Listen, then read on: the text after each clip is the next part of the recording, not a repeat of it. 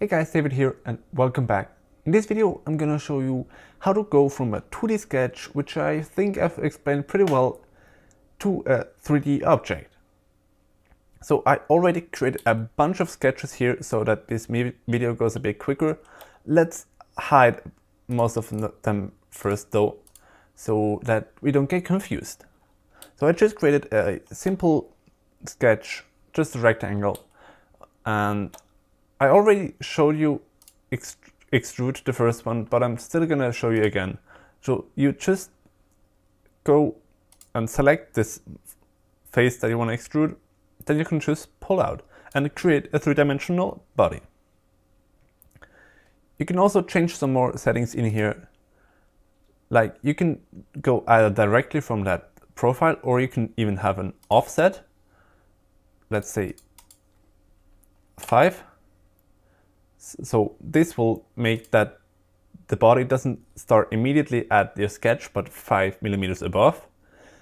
For the direction, you can go one side, which is like usually, or you can go two sides with like different extents, or you can go symmetric, which goes both sides with the same amount. Most of the time, you're probably going to use one side though. And you can either go distance like that, or you can go to an object or all. So what I sometimes do is when there's already another object there and I'm creating a new one and when I push it right to the edge, then you can extrude it where it's pretty close and then you go over and click on the face of this other object. And then it's going to extrude just so it's basically on the same level. You can just play around with that a little bit. And as I already showed, down here you have the different operations, join, cut, intersect, new body or new component. I'm gonna show you uh, the cut and intersect a little bit more detail later. And then let's hit OK to confirm and that's our cube that we created here. But I'm actually gonna get rid of that cube again and I'm gonna hide this sketch. The next one I want to show you is revolve. And this very similar to extrude, but you're going around an axis to create a round shape. So let's select this. Um, the profile I want to use is this kind of inverse Christmas tree looking thing. And the axis, I'm gonna choose, choose the z-axis here. And as you can see, it automatically goes all the way around and creates this thing here, whatever that is. But you can also go less than 360 degrees and just create a partial revolve around. And again, there's like two sides, one side, and you can create it as new body or whatever. And that looks like that. For this next one, we actually need two different sketches. I have one, this circle here, that's kind of on the side like that, and then I have this sweeping line. And what we're gonna do is create a sweep which is just like an extrude, but instead of going perpendicular straight out, it's gonna go along a path that we select. So we're gonna select the profile here, which is our circle, and then the path is this line here. And this creates this rather nice looking snake here. And as you can see, the profile, our circle here, is nicely following along the line that we selected. If we want the circle to stay on its side all the time, we can do that by changing orientation here from perpendicular to parallel, which as you can see creates this really thin section here as the circle moves around like that and creates the shape like that instead of moving around this way. Most of the time you're probably going to want perpendicular though. Once again, there are more other options in there that you can change. Just play around with them if you're curious. And to create a loft, we're also going to use two sketches again. This is basically going to do a uniform transition between one sketch and then a different one that's on a different plane. So I just offset this second sketch up here and when I'm going to select this profile here for the first one and then I'm also going to select this one for the second one. And as you can see, it moves very nicely from this rectangle down there to a circle up there.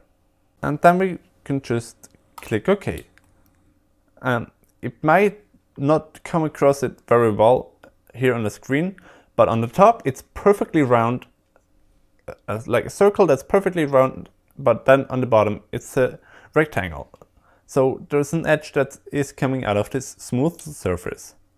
And this really looks kind of cool. And I created another thing here to show you a different one. Uh, I basically took the shape from, shape from before, but made it like a hollow thing. And what I'm going to show you here is the web. And what, what you can use that for if you have a structure that's hollow, but you want to create some supports in there. Now, here for curves, we can just select our lines here, and then we can want to give it some thickness. I'm going to do like three millimeters. And as you can see, it detects that this is like a hollow structure and creates these walls in there that are thin and only go to the surface. Now this is like a rather fancy thing that's automatically doing that. So you don't have to tell them how far to go or anything. So it senses that automatically, uh, which is quite handy if you need something like that. And to showcase the rib, I created this line here that is kind of floating in the air, but connecting these two things. So I'm gonna choose rib here, select this one and give it some thickness. And as you can see, it automatically creates a rib here, which again, you can use to support your structures. So in here in the create menu, you can also see a bunch of like three-dimensional shapes automatically that don't require a separate sketch. So if you just want to create a simple box, then you actually don't have to create a rectangular sketch first. You can just select the face you want to start on and it automatically creates a sketch, but doesn't move like in sketch view, it just stays this way. Then you can choose your rectangle and it automatically goes to extrusion and you can choose it that way. You can also still modify it in all the directions while you're working here in extrusion. This allows you to just really quickly create a new box if you want that.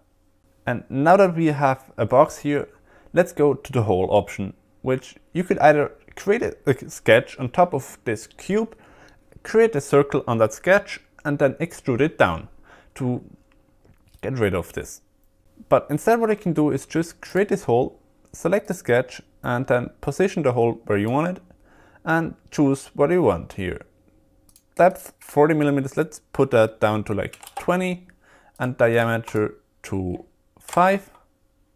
And as you can see, it all automatically creates this hole in here. And you can even like model it in a way where it's like a drill, which has like this angle in the front.